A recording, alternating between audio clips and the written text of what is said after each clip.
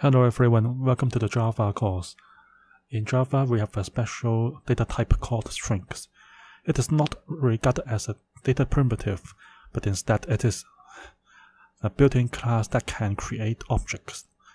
When we want to join some characters together, we need to set up a string. So in general, we can set up a string in this way.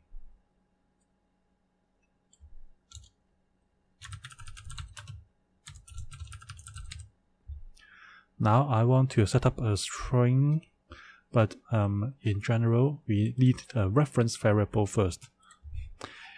My string is a reference variable to a string object. So for now, um,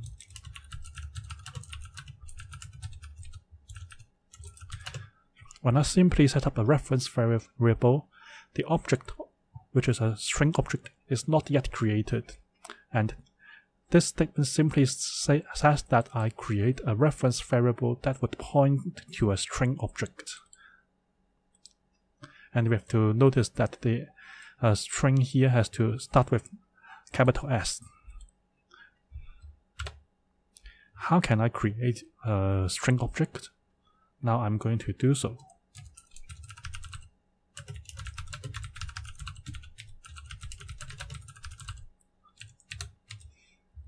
One way to do so is using the new keyword.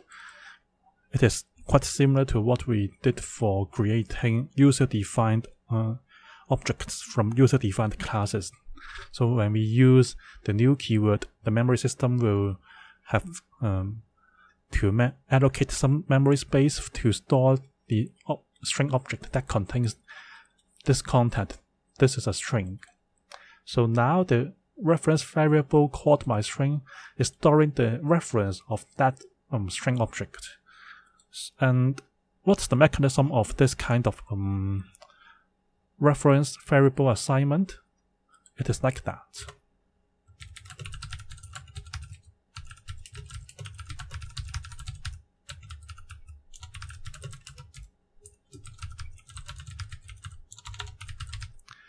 I first create an object and the reference of this object is stored in the uh, reference variable called my string.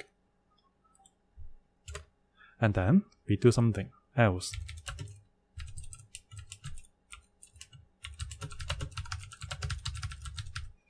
We pass a copy of the, of the string reference to um, the print line method in order to print the uh, my string method uh, sorry, in order to print out the my string uh, object out.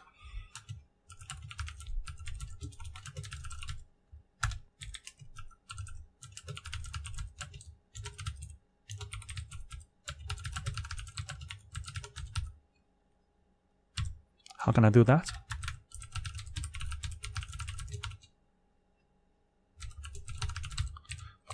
So when I type this um, instruction, I um, pass a copy of the string reference obtained by the my string variable to the print line method. So the argument or the um, actual parameters uh, for the print line method is simply the copy of the reference from the my string um, variable. Okay.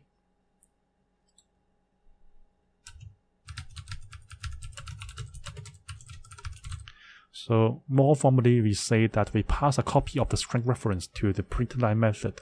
Then the println method would display the string object referred to by the reference variable called my string. So let me try it now. Okay, I get the string coming out.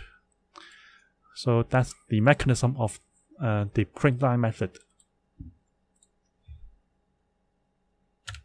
Now I create another string in another way.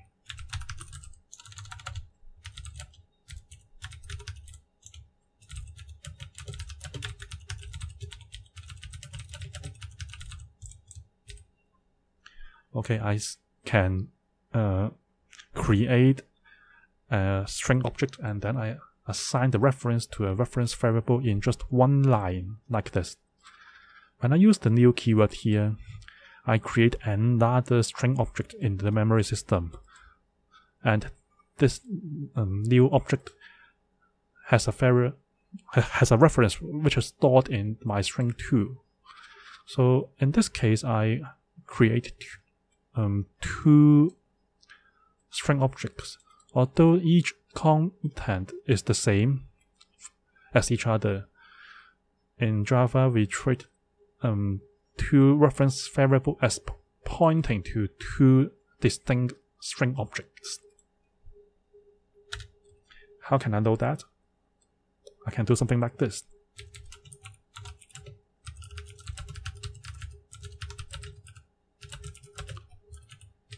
I can show that the two string references um, stored in my string and my string 2 are not equal.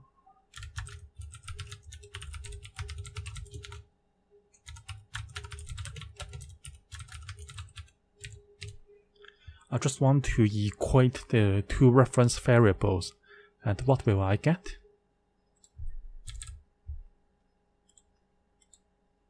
Yes, I will get false why? Because uh, two reference variables are storing two different references. That means I created two um, string objects in the memory. So even though the content stored in each of the um, objects is the same, we still treat uh, two objects distinct.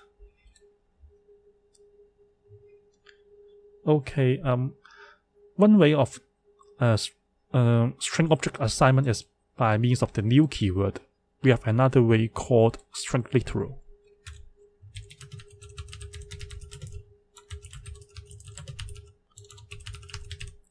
What does it mean by that? It is very similar to what we did for um, data primitive assignment.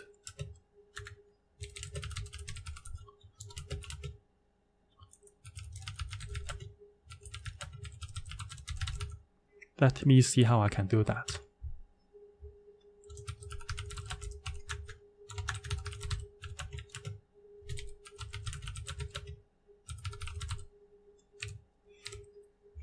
You see, the format is very similar to primitive data type assignment.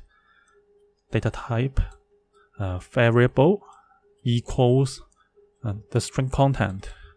So the content um, surrounded by the double uh, quotation marks is known as the string literal. So I'm going to set up another um, reference variable called my string3 and this reference variable is storing the reference of the um, uh, string object whose content is th this is a string.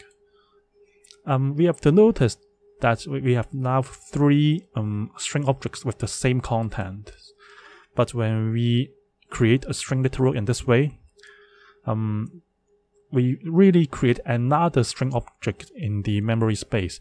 So now we have three distinct uh, string objects. We can show this idea later to you.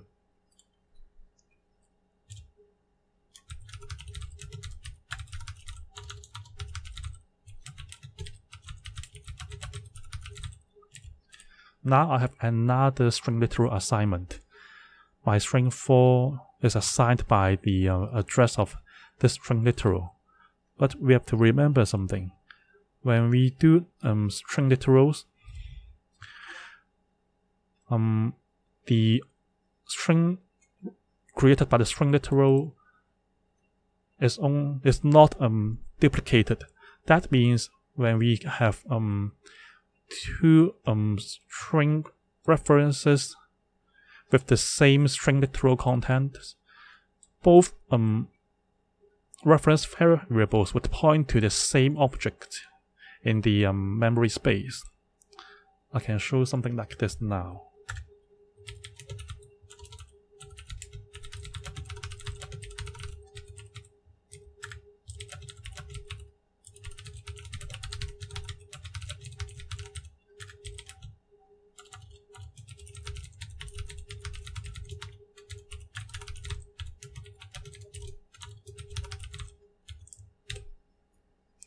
Me try to print the result. I will get true. Why? Because the two reference variables are storing the same reference for this a string object created from a string literal.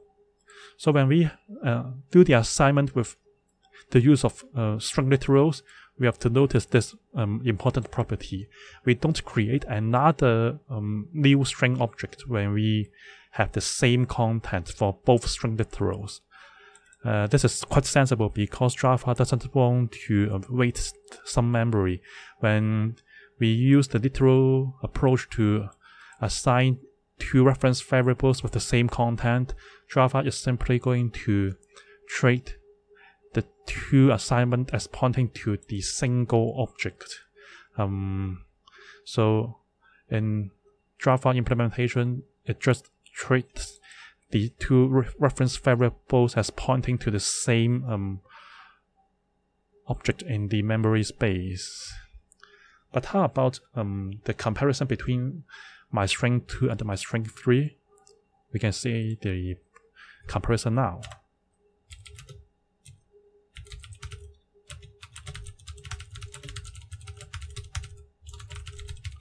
When we compare my string 2 and my string 3, we will get false.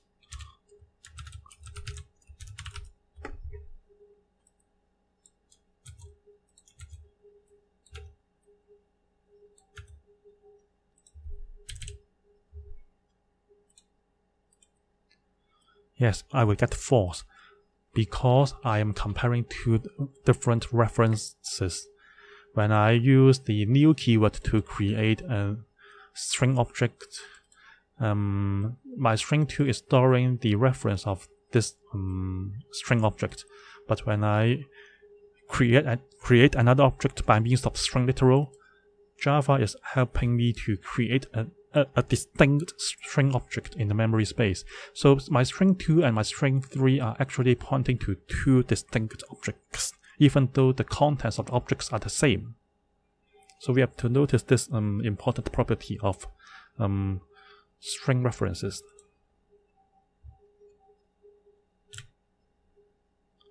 Okay, next, the, the next part is about the um, comparison of the contents inside the strings. When we use the um, double equal signs, we just compare the um, references of the reference variables. But when it comes to comparing the string contents, how can we do that? We can make use of the equals method uh, provided by this uh, string class.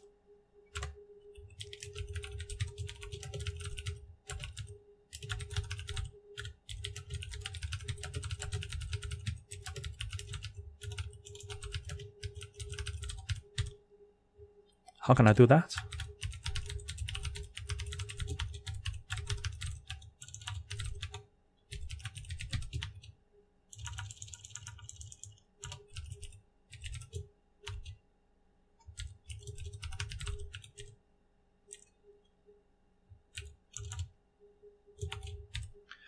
Okay, when I use the equals method uh, of the string class, I will get true in this case, even though the uh, reference variables of my string 2 and my string 3 are storing different um, references. Let me see.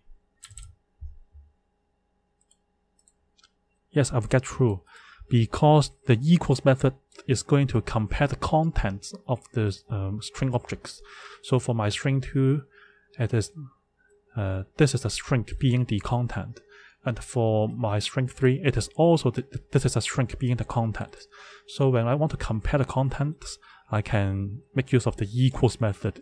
So even though two string objects are distinct, as long as the contents are the same, I will still get true. So that's the uh, idea of comparing the contents instead of comparing the references uh, stored in the reference variables. And we have to notice one more important uh, property of strings in Java.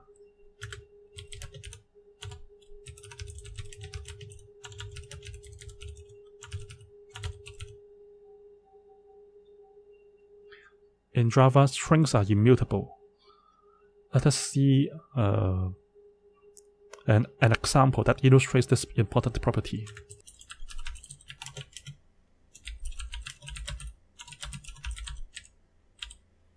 Okay, now I have another string object called this is another string.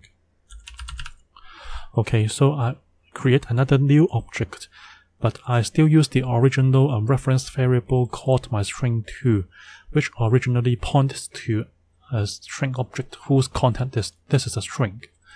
So in this case, um, Java is not um, correcting the original object content. Instead, um, Java will create another object and then the original object whose content is this is a string will be orphaned.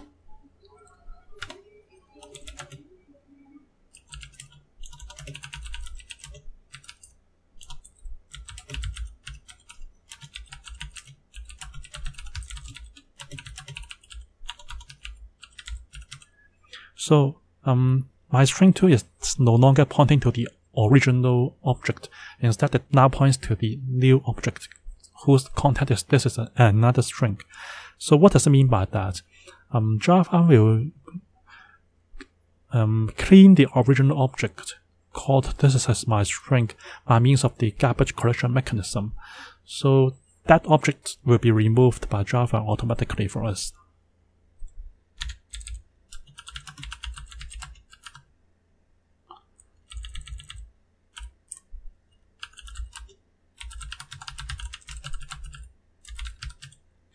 So this is the essence of immutability. Java will not change the original content of a given string object. Instead, it will create an, another new object and then it will let the original object orphaned. So in this case, we don't create, uh, we don't change the contents of, of the object. So that's the meaning of immutability of strings in Java. I can print the um, my string2 out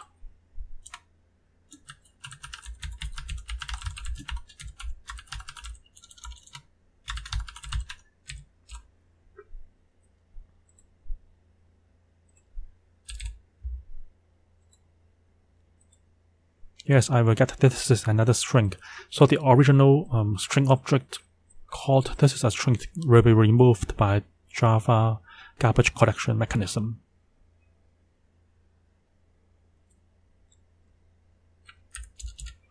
And then I'm going to tell you something about object reference assignment.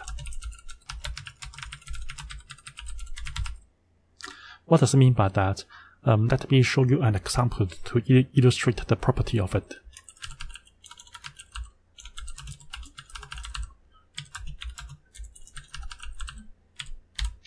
Now this assignment statement is going to assign the reference contained in my string 4 to another variable called my string 5.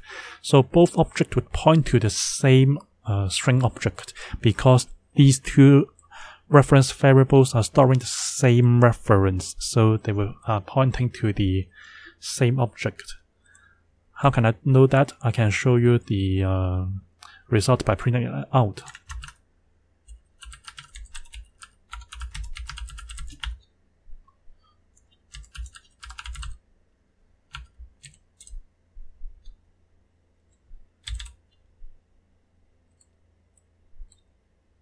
Yes, I will get this is a string. Uh, my string 5 is not pointing to another new object. Instead, it points to the object which my string 4 is also pointing to. So that object has two references now. How can I know that?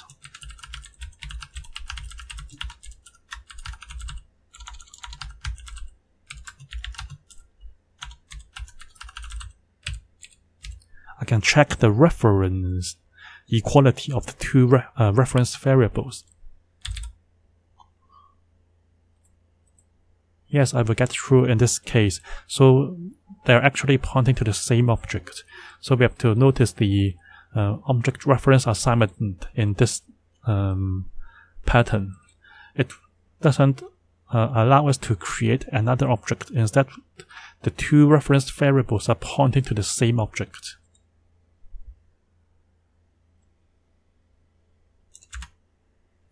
Another situation is about the null string in Java. Let me uh, create a new string object.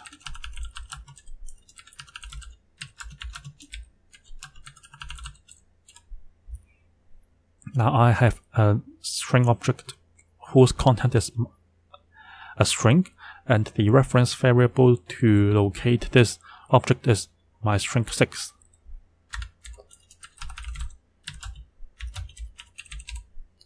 Now I turned the content of my string 6 to null.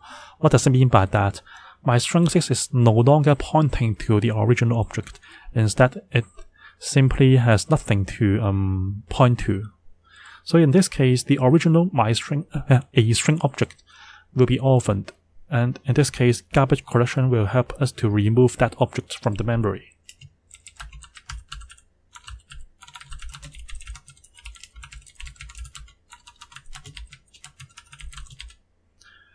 And of course, when I print the my, uh, my string 6 out, I will get null.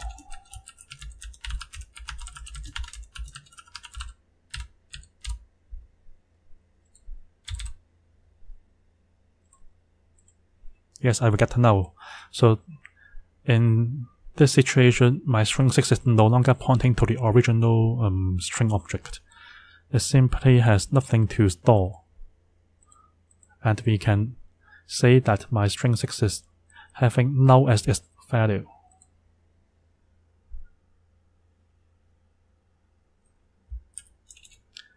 Now let me show you some ways to um, store the um, results coming from some string methods into primitives.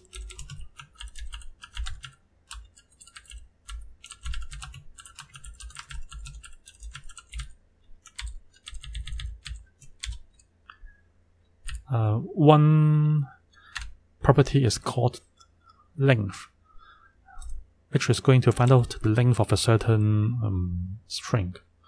And here let me repeat the string that I'm going to use.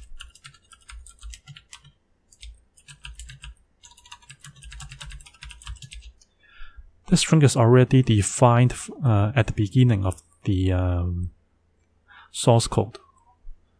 How can I make use of the um, length method?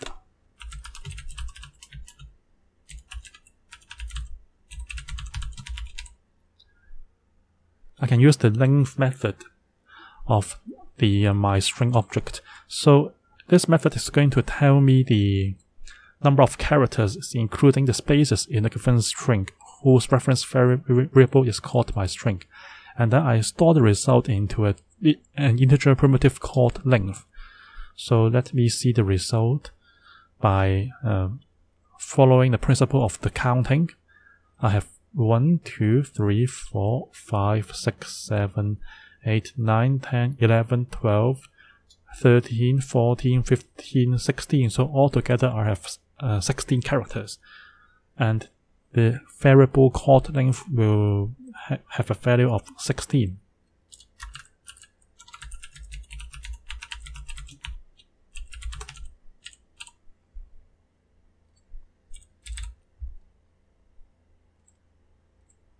Yes, the answer is 16 when I print the result out. So that's one way of storing the result coming from a string method to an integer primitive. I can show you another uh, uh example of boolean value.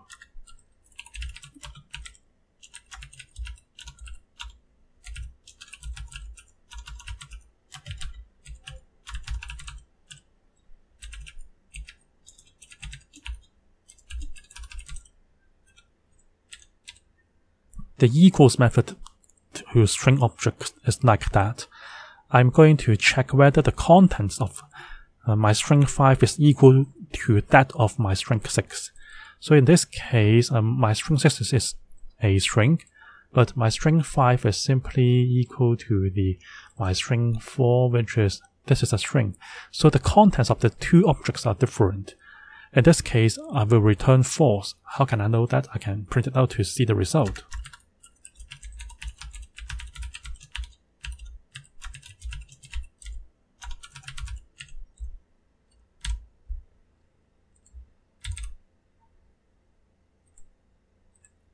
Yes, the answer is, is false because the two strings are having different contents.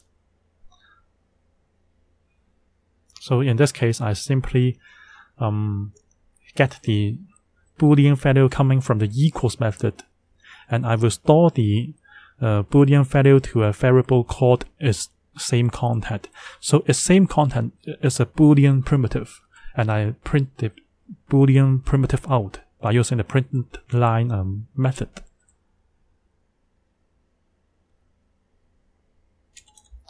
Now I can show you other commonly used methods of, of strings.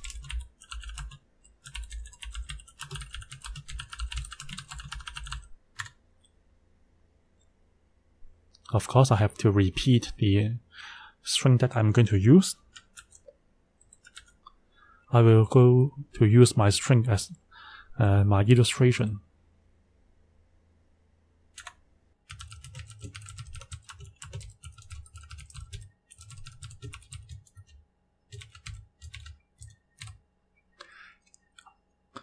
I can find out the index of the character uh, which is this one from the my string um, object. That means I, I want to check if this um letter or character exists in the um, my, my string object. What is the first position of this um letter in the my string? So that means I'm going to find out the first occurrence of this um, character in the my string object but we can see that uh, there is no k in the content of my string. What will I get?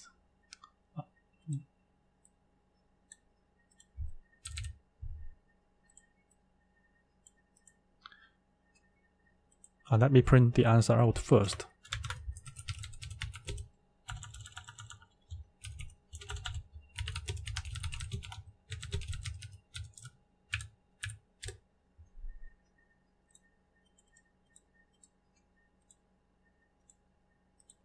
I will get minus 1. Minus 1 means that this character is not existent in the uh, string object. And for um, string object, the index starts with 0. So this is index 0, this is index 1, index 2, index 3, index 4, and so on. For um, this character, there is no um, place in this um my string object, I would get uh, minus 1 as the answer coming from the index of method.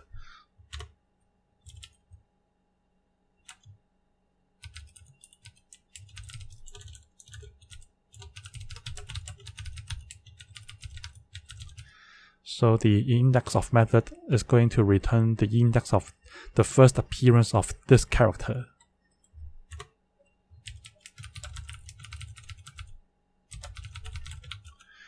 If this character is not present, I will get minus 1. And one more thing. The index starts with 0. So that's the important points to note when you use the index of method.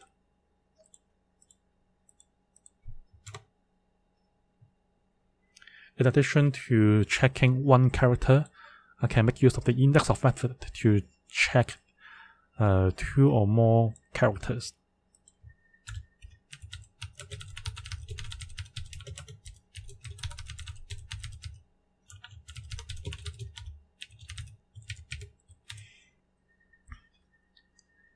When I put a string inside the index of um, method, it simply gives me the index of the first appearance of this string. So I'm going to give this part as the uh, first appearance of the uh, specified string. So I would get 2 as the answer. Let me see the result by um, printing it out.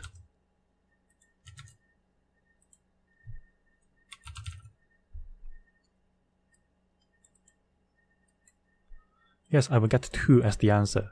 The reason is that I can find out this pattern in the in the third character, which is simply index two of the uh, my string object. Okay.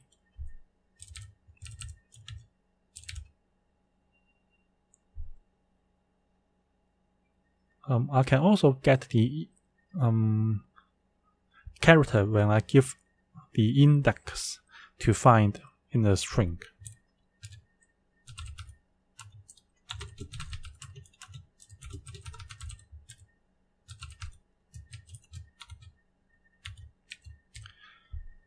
I can use char at method. Index 0 means that I'm going to point out the character which is having index 0. So I will get capital T as the answer of the um, a char variable.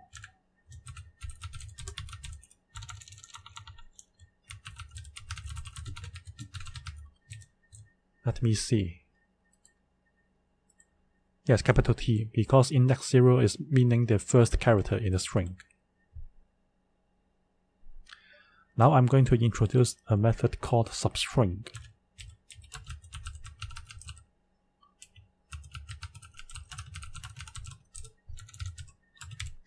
When I want to get the substring starting with index 5, how can I do that?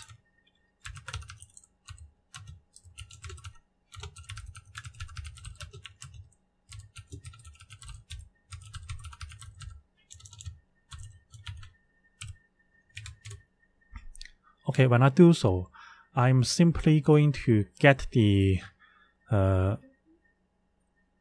substring starting with index 5. So I would get 0, 1, 2, 3, 4, 5. So we start with index 5 and I will give the string starting with index 5. So I will get is a string as the answer. Let me see the result.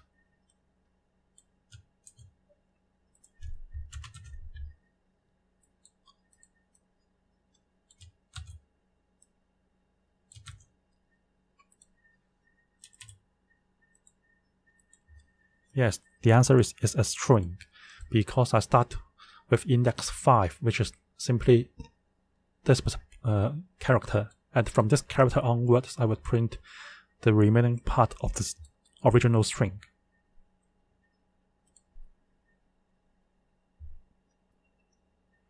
And when we want to um, obtain a substring which is simply inside the original string, I can make use of the substring method again, but I have to put another um, set of um, actual parameters.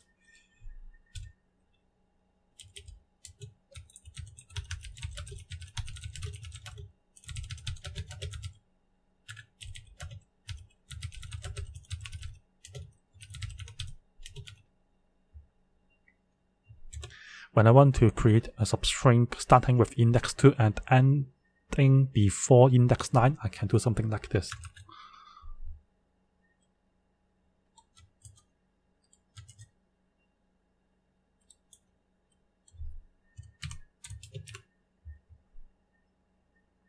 I can print the result out.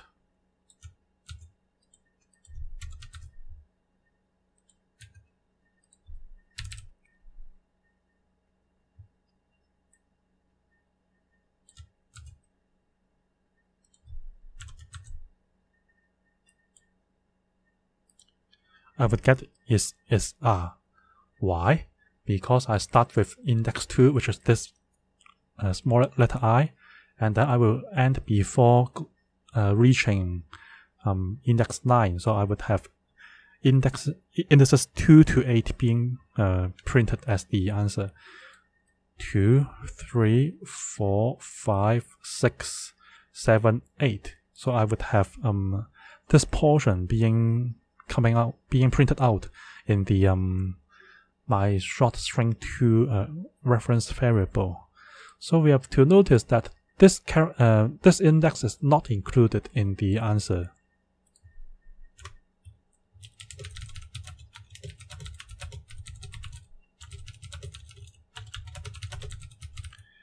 This is an important property of the substring method when we want to uh, capture uh, a substring in the middle of a given string, uh, we have to notice that the second um, actual parameter is not the index that we will put into the um, uh, answer coming from the substring method. Okay. Another example of the um, string object method is, is this one. We can concatenate two strings.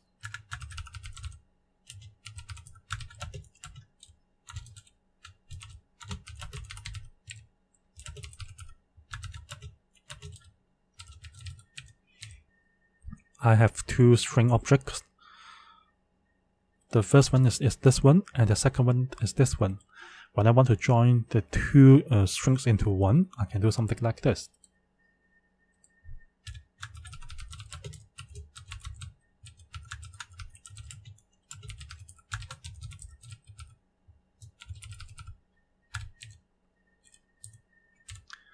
When I have the concat method, I will join the first um, string with the second string.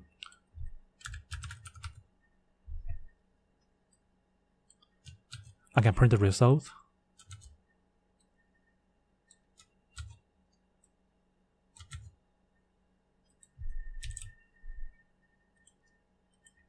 Yes, the answer is simply I like Java and the uh, combined string or the concatenated string is simply this long.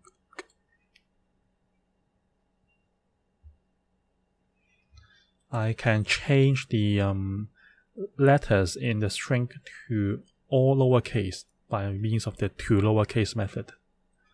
Let me see the implementation.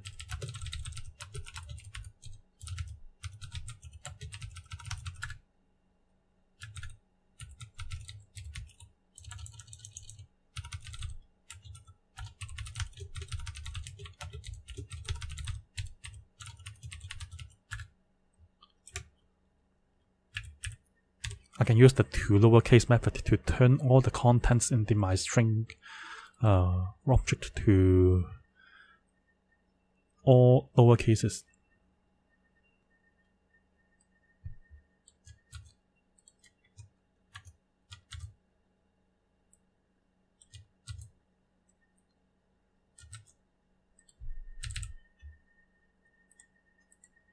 Yes, the answer is like this. This is a string all the um, letters are now small letters. Uh, actually, we can turn all the letters to uppercase letters similarly.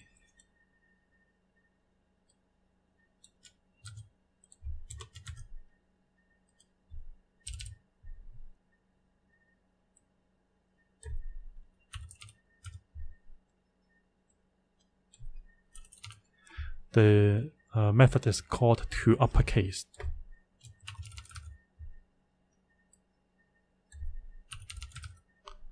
Let me see the result. Yes, this is a string with all letters being um, capital letters. And finally, I would like to um, introduce one very useful uh, method called trimming.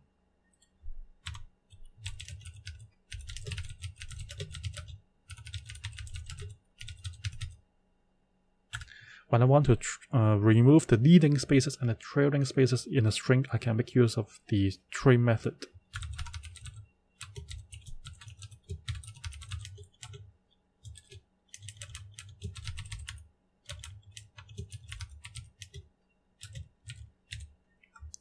Suppose I have such a string. I have some uh, leading spaces here and trailing spaces there.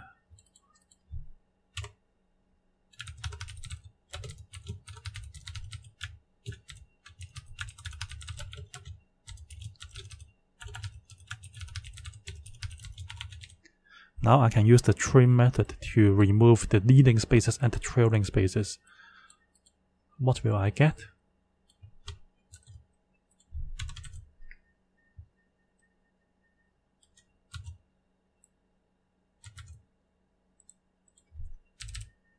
Let me run it.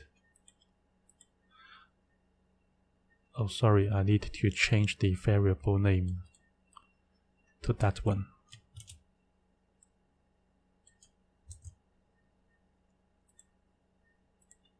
Okay, I will get hello world as the answer. The leading spaces and trailing spaces are removed, but the spaces in between the trimmed uh, string will still remain. So it is important to know that the spaces in the middle won't be removed.